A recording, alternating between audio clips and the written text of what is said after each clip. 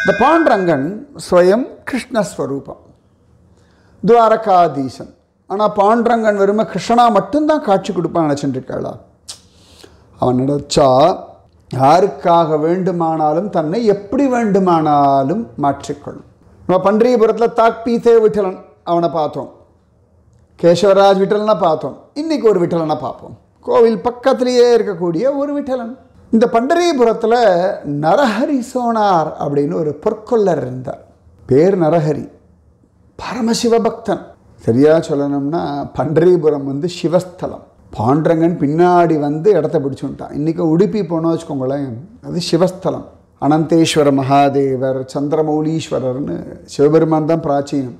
உடுப்பி கிருஷ்ணன் தான் புதுசு. நிஜமாவே.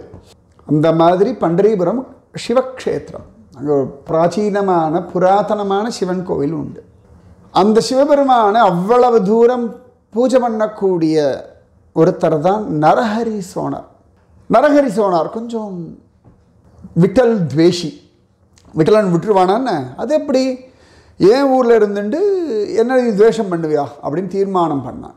ஒரு தடவை தன்னுடைய பக்தர் ஒருத்தருக்கு வந்து ஒரு ஆக்ஞை கொடுத்துட்டான் தனக்கு வந்து ஒரு ஒட்டியானம் பண்ணணும் இடுப்பில் தங்க பெல்ட் பண்ணணும். நான் உங்களுக்கு புரியறதுக்காக தங்க பெல்ட்டுன்னு சொல்கிறேன் அவ்வளோ அழகாக அரைச்சதங்கைன்னு பேர் நல்ல தமிழ் வார்த்தை அரைச்சதங்கை இடுப்பில் கட்டுறது. அப்போ ஒரு ஊரில் விசாரிச்சார் பன்றிபுரத்தில் இவர் தான் விசேஷம் தெரிஞ்சவொடனே நரஹரி சோனார் இடத்துல கொண்டு போய் எல்லாம் கொடுத்தார். முதல்ல அவர் ஒத்துக்கல. கடைசியில் ஒத்துனுட்டார் இவர் பண்ண சொல்லிட்டார். அழகாக இவர் சொன்னார் அளந்துன்னு வாங்கினார் இவர் போய் அளந்தார் கொண்டு வந்து கொடுத்தார். எல்லாம் பண்ணியாச்சு. குறிப்பிட்ட நாள் வந்தது. அழகாக ரொம்ப அழகாக பண்ணியிருக்கார். கொண்டு போய் மாட்டலான்னு பார்த்தா சைஸ் பெருசாக இருக்குது தொல தொலன்னு கீழே விழுறது நரஹரி சோனார் பண்ணார்னா அவ்வளவு கரெக்டாக இருக்கும். ஃபஸ்ட்டு டைம் அவர் லைஃப்பில் இப்படி ஆகிறது. வந்துட்டு சொன்னாருமே பெருசாக இருக்குன்னு சரி சொல்லி அளந்து பார்த்தா நிஜமாக கொஞ்சம் சைஸ் பெருசாக இருக்குன்னு சொல்லி கட் பண்ணி கரெக்ட் சைஸ் கொடுத்தார். இப்போ கொண்டு போய் போட்டால் சிறுசாக இருக்குது பத்த மாட்டேங்கிறது. நரஹரி சொன்னார் ரொம்ப கோவம். என் வாழ்க்கையில் இந்த மாதிரி நடந்ததே கிடையாது. இதுக்கு தான் பண்ணி தொலைய மாட்டேன்னு நான் சொன்னேன். இவர் சொன்னார் பணம் வாங்கின்றீர்கள் நீங்கள் பண்ணித்தான் கடைசியில் வேறு வழி இல்லாமல் ஒழுங்காக அளப்பதற்காக நரஹரி சோனாரே கண்ணை கட்டிண்டு கோவிலுக்கு போகிறார் இவன் இதுக்கு தானே காத்துட்டு இருந்தான் பாண்டுரங்கன். போனால் இவர் அழகாக இடுப்பு அப்படியே தடவரார் தடவினா புலித்தோல் தெரியறது புலித்தோலை அரைக்கசைத்து பொன்னார் மேனியனே அப்படின்னு இல்லையா? உடம்பெல்லாம் வந்து சாம்பல் வாசனை வருது விபூதி வாசனை. இடுப்பில் அவர் கை வச்சு பார்த்தா பாம்பு நெழுகிறது சிவபெருமான் இடுப்பில் பாம்பு தானே கட்டின்னு இருப்பார் கையெல்லாம் தொட்டு பார்த்தா சுடலையாண்டி தானே அவர். உடம்பெல்லாம் சாம்பல். தலையை தொட்டு பார்த்தா ஜடாமுடி. அச்சோ! இது ஜடாதாரி என் சிவபெருமான்னு கண்கட்டை அவிழ்த்து பார்த்தா பாண்டரங்கன். சீ சீ சீ சீ திருப்பி கண்ணை மூடினான். கண்ணை மூடிண்டு தொட்டு பார்த்தா சிவஸ்வரூபமாகவும் கண்ணை திறந்து பார்த்தா விஷ்ணு ஸ்வரூபமாகவும் பாண்டரங்கன் காட்சி கொடுத்தான். அவர் யாருக்கும் இப்படி காட்சி கொடுத்ததே இல்லை. நரஹரி சோனார் அசந்து போயிட்டார். பகவான் பிரத்யக்ஷமாக காட்சி கொடுத்தப்பா நானே ஹரி நானே ஹரன் உனக்கு என்னதுக்கு பேதம்? ஆனந்தமாக என்ன அனுபவி?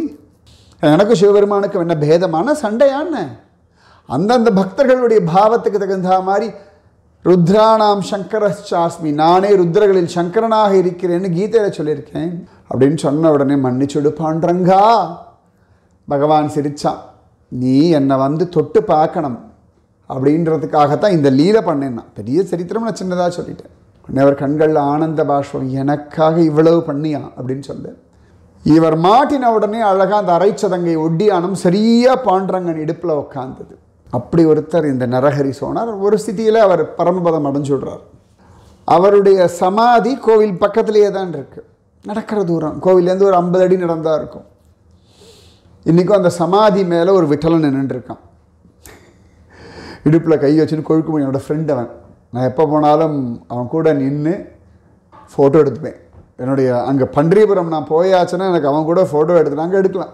அவனை கட்டி பிடிச்சிட்டு அவ்வளோ அழகான ஒரு ஸ்மைலி நரஹரி விட்டலன் அப்படின்னு அவனுக்கு பேர் வச்சுருக்கேன். விட்டலன் எப்படி வேணாலும் வருவான். உங்களுக்கு எப்படி வேணும்?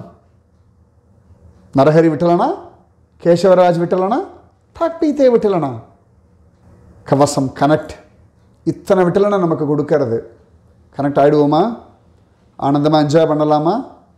நாளைக்கு நாளைக்கு சொல்கிறேன் ராதே கிருஷ்ணா.